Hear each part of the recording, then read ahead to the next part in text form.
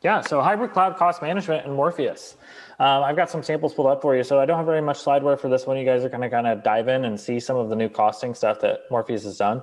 Uh, like Brad said, we didn't really start here. This was kind of uh, an ancillary feature set that Morpheus added to its product, but it's it's become a product in and of itself. It can do a lot of things um, that other cost management tools can do, like sync in your real-time cost data, pull in your invoices and and back invoices from all your AWS cloud spend or Azure um, GCP is actually coming here uh, this next few weeks as well. Or even uh, apply metered costing from Morpheus monitoring doing its discovery of your on-prem. So you can apply that same costing spend. Re really awesome for managed service providers in that sense. Um, there's a lot of cool stuff here. So I'm actually going to go ahead and dive right in, um, given on time. Um, so Firstly, uh, one of the cool things that Morpheus does provide is it does provide some analytic, analytic screens where you can actually look at your spend by group, by cloud, by tag. Um, you can kind of see where that spend is, where a projected spend is. You can see your overall, like there's my Amazon spend, uh, there's my VMware demo cluster spend. Um, so you can kind of get an idea uh, where your spend is going. Uh, one thing Morpheus also did um, or what we did is we also provided this new costing area. So we've actually generalized the data that comes from the public clouds and the on-prem into uh, monthly roll-up invoices. Um, what's awesome about this is if you've got a multi-cloud large enterprise and you've got a finance team and you want to track down spend by department or whatever it might be by tag, um, you can actually pull from Morpheus's API and get a consistent API for all the clouds. It makes it a lot easier to work with the data. Um, and Morpheus does a nightly update of that and provides projections. So for example, I can go to invoices um, and I can actually see that. So right here, I've got invoices and we have granular invoices and summary roll-up invoices. For example, I could say, hey, I want to look at cloud level invoices. So I want to say, hey, what's my AWS cloud spend? And I can actually look at that historically. Um, last uh, May, it looks like it was $8,470 um, that month. Um, right now, month to date in June, it's 4,000 projected to be six. Um, probably cleaned up some persistent volume uh, some not persistent volume claims, uh, some EBS volumes or detached volumes, things like that. That's a great use case for that in the AWS land. Um, I could look at this for Azure as well um, and actually see that spend in my projections. I can actually drill into these invoices and you actually see uh, a split. You know, what's my cost percentage by compute, by storage, by network, extra, or um, also memory and license can show up if it's a, if it has any. Um, that kind of data will show up there. Um, I can also, if let me go back to the AWS one, because that one didn't have any, I can go into this one. I can see that same stuff. I can see a history of trend based on how far I backloaded it. So um, you can actually see this is pretty realistic. There was a bunch of uh, detached volumes in our environment that were cleaned up at one point. You can see that trend and spread over time uh, from your invoice data. I can also view uh, granular line items for this. This is a roll up by cloud.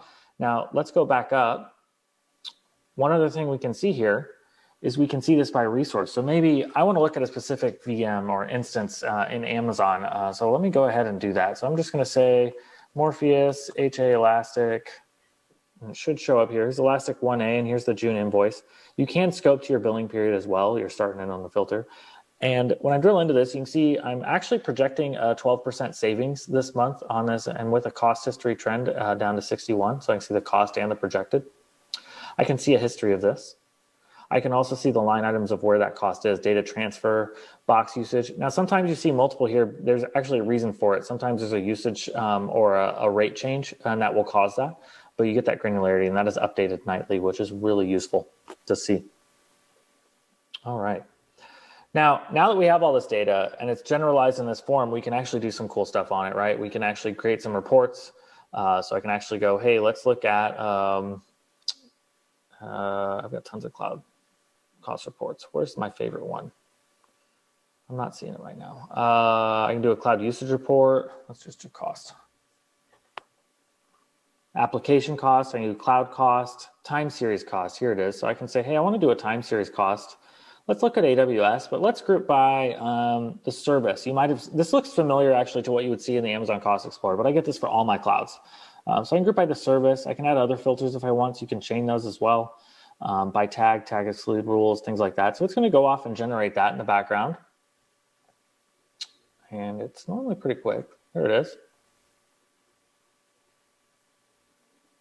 you kind of see what that looks like. Um, the time span here, it's just showing the last two billing periods, but you can see the spend, you know, on EC2 versus RDS versus S3 by service. And this grouping and pieing is completely controllable um, by those filters. So there's a lot of cool costing tools there. Now, not only do we have all this costing, one of the big things with self-service, and the reason we have this is also budgets. Um, budgets are a little different in that they they use estimates and things like that. But the way that works is, a, firstly, I can actually just create budgets and do budget tracking under um, costing.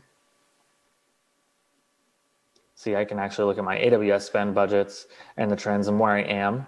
I can also um, uh, create a policy in our governance engine, for example. This is where you can create policies. I can say, hey, I want to do a budget policy um, right here. I want to give it a name. I can say, hey, don't let this user spend more than $120 a month. Um, I can actually scope it to a specific cloud or say, maybe I want to scope it to, um, uh, you know what, I don't like our marketing people. Sometimes he's spending all the money. So I, I'm just going to scope it to Brad here. So um, now, Brad, uh, you can't provision anything beyond $120 a month. So um, that's done. And remind me to remove that later for your next demo.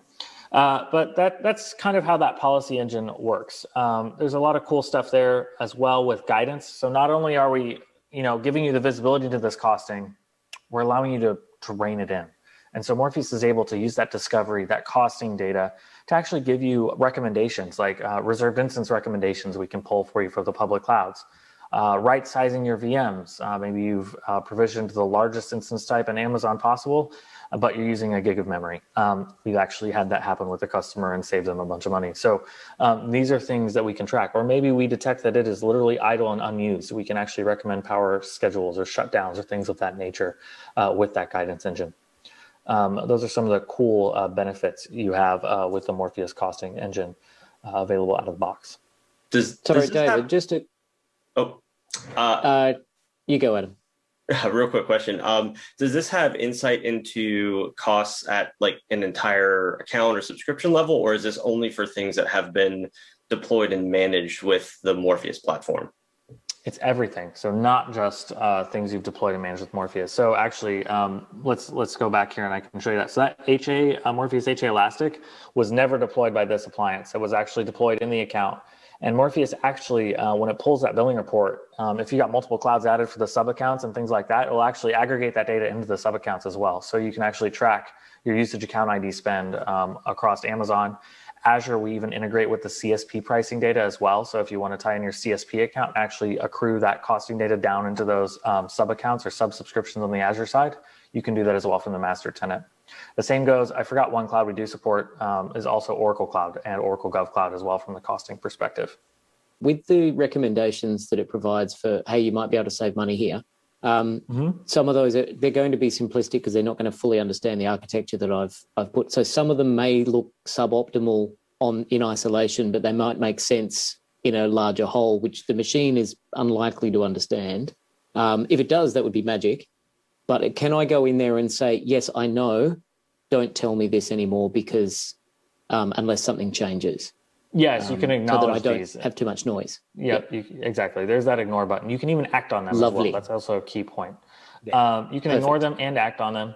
You also can configure the rules as well. So if you want certain thresholds uh, to affect your right sizing type of stuff recommendations, you have full control of that. You can even uh, change how it's calculating it. So maybe I want to look over a 90 day period. I don't have any in this environment turned on for 90 days, but if you click these, that would actually show that up. We actually keep this pretty clean in this environment, so you won't see that here. But it'll actually change how it's um, heuristically figuring out uh, what those right sizing recommendations are.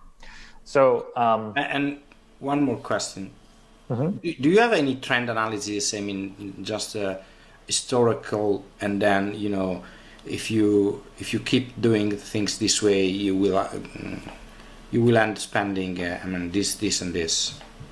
Yeah, so you saw that projected costs. Um, we actually do that for your month to date, so we can actually show the trend from a, a month perspective. And then on your budgets, you can actually start to see that trend line and how that moves up and down um, for your annual budgets and things like that. You can also do three year budgets too. Okay, thank you. Mm-hmm. In a cloud summary tab has some good, just basic. Yep, that's a that's a great example of things to show. Um, another thing I should mention is doesn't have to be compute resources that Morpheus discovers. We talked about can we show costs for only things Morpheus provisions or discovery. Morpheus looks at that bill, and if there's something from you know uh, Kafka services from AWS, we'll show it um, as a as a resource um, in the invoice bill data. So not only does it act as a way to um, show your costing, it actually acts as another layer of discovery um, for reining in some of that spend that you may not see um, otherwise. So it's very powerful. Uh, but yeah, this is a, an AWS account. Uh, you can kind of see there's there's going to be some costing and budgets and trends like that. You can actually see service breakdown costs. You can see reservation recommendations, um, savings plan recommendations, um, things of that nature, are all in the summary tab, which is really powerful. You can even extend uh, your guidance. Is there well. is there some way to um, try the package out before purchasing it? I mean, is there Morpheus? Yeah, we have a, a uh, community edition that's actually been downloaded about fifteen hundred times at this point. Um, yeah, get in there, play around. We'd love, especially if you guys are doing any post CFD write ups, um, just hit me a note and I'll, I'll make sure you have access. But if you do mm-hmm. morpheusdata.com slash community, it'll, uh, it'll take you there. Uh, there's even some links to some self-paced training to, you know, get more than dangerous on the basics. But. So, um, and then the other one is utilization versus cost. And this kind of ties into your right sizing. So since Morpheus is tra- tracking the statistics of your VMs as well, it's a really great way to look at, hey, is this VM actually being utilized? Um, you can see there's a 60% it's costing me a little bit, but these are not being utilized. And that's actually 100% true. It's literally sitting there as a test environment. So I could probably shut that down or put it on a power schedule. So you have some, some nice um, trend charts and things like that as well.